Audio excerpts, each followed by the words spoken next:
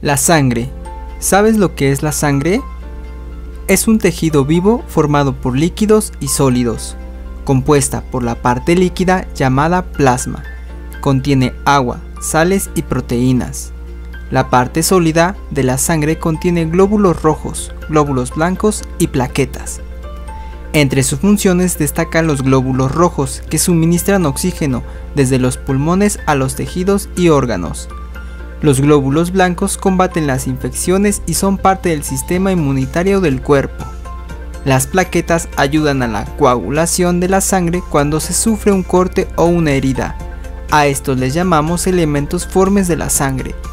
Recuerda que son los glóbulos blancos o leucocitos y los glóbulos rojos o eritrocitos y plaquetas.